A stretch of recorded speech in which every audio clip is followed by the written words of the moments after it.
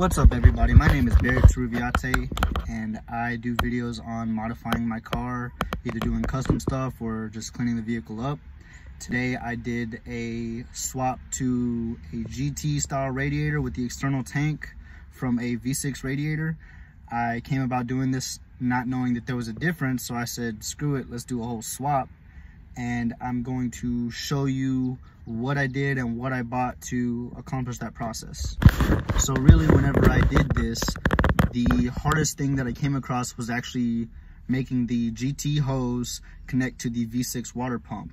That uh, secondary section right there, I ended up having to custom make an elbow for it uh, to get that done. I just purchased some cheap exhaust piping from O'Reilly's AutoZone and I took it to my local exhaust shop, have them cut it at an angle and weld it back together and then I bought some cheap uh, some cheap band clamps and that was it. it. it hooked them two together and it actually went pretty nicely that being said since I got those together and everything hooked up right then and there the fan actually does connect to the GT style radiator exactly the same it just goes right on so that's also a big plus GT tank uh, factory hose from lower radiator to the tank.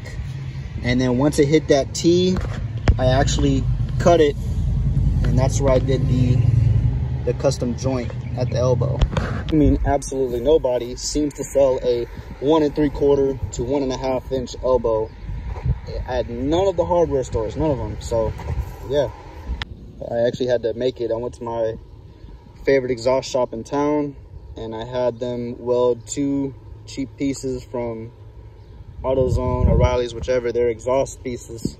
I had them weld this together and make me a 45 degree elbow. Also to note, uh, this is an old radiator hose. See, that's the splatter from where I had my leak at. Um, the old radiator hose to the V6 engine does fit the V8 radiator. So that's another big plus. So in doing my swap, I actually have plenty of space between the belt and that elbow which took took a bit of thinking, but I made that happen. And so there's the original T, and then I cut it, and then there's the old V6 radiator hose. Appreciate my car. I'm proud of my vehicle. I've done a lot of work to it myself, and I feel like it's come a long ways since whenever I bought it. And I'm thinking about buying a second one to do for the street. Now, anyone that's interested in purchasing one that I both restore and customize myself, I will be selling the second one. Not this one, but the other one. So if you're interested, um, message me and I will end up selling the vehicle to you. I'll do every nice factory part that was possible on these vehicles to the uh, second vehicle.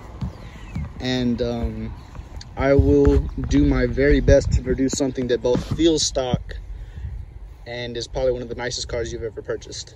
So if you could, please like and subscribe and turn on the notification button and I will see you next time.